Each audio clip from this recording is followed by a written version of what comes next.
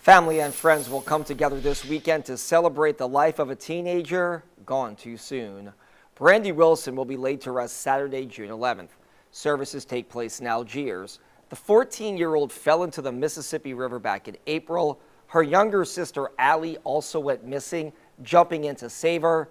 The body of the eight-year-old has not been recovered.